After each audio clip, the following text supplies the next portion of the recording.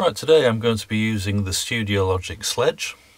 This is an analog style synthesizer and I'll take you through it from left to right.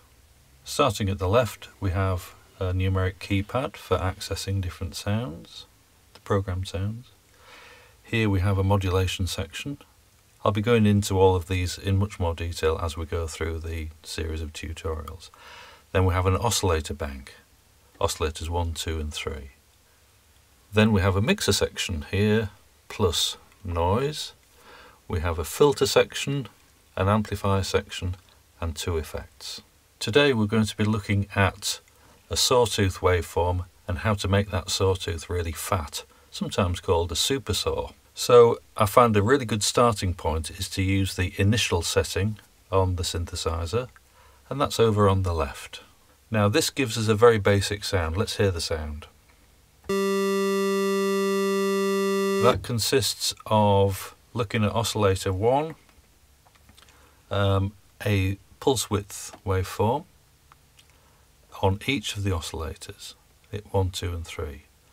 Let's first of all um, isolate oscillator 1 by looking at the mixer section over here and we'll take out oscillators 2 and 3 and just focus on oscillator 1. So going from top to bottom we have a footages or octave section here, which is, um, it says 8 foot and then down to 64 foot and up to 1 foot. What that refers to is when I play middle C, um, an organ pipe of 8 feet in length would produce this sound of middle C. I can then change the octave to, to a 16 foot pipe, a 32 foot pipe, and a 64 foot pipe. I can then go right up to 4 foot, 2 foot and 1 foot. We're going to stick with 8 foot because that will give us middle C where I need it to be. The next one going down is a semitone um, control. So that goes up in semitones, up a whole octave and down a whole octave. Let's set that to 0 again so we know where middle C is.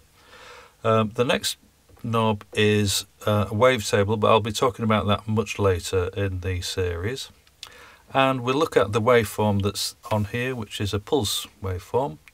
What we need to access is the sawtooth waveform. So by pressing this button here, we get to the sawtooth waveform, and this sounds like this. Very buzzy. Now, how do we make that sound a lot fatter? Well, on the Studiologic Sledge, on this section, we have two effects uh, sections here. So we've got the chorus.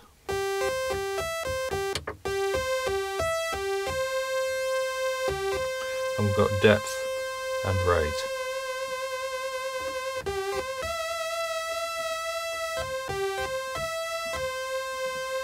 Uh, then we've got a reverb section, so it adds a bit of depth to the sound already.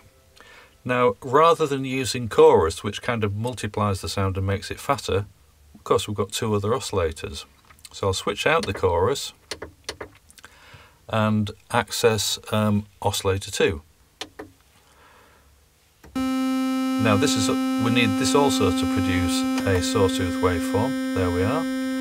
And again it's got a, an octave switch, a semitone um, switch and a detune. The detune gives a classic chorus effect. Now we can also alter the, the uh, footage or pitch of this to make it faster by taking down two octaves. On the third oscillator we now want this to, to be a 16 foot pitch but we also need the waveform to be um, a sawtooth waveform and we can detune this slightly as well. So now we're getting a very fat um, sawtooth waveform, a super saw if you will. Let's do a little tune.